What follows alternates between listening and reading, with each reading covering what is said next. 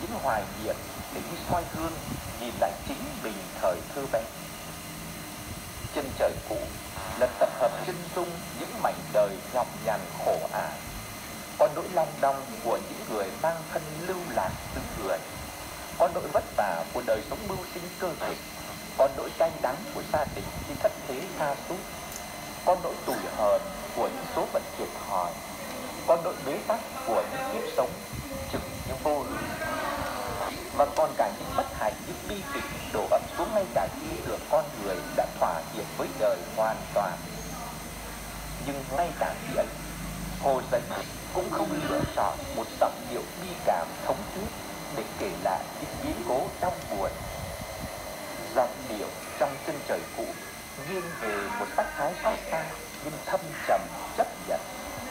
như thể những thống khổ kia không chỉ là định mệnh của riêng ai, mà là một trạng thái phổ quát của nhân sinh. Cảm giác dằn vặt tâm hận là cảm giác không gột sửa được trong văn hồ giấy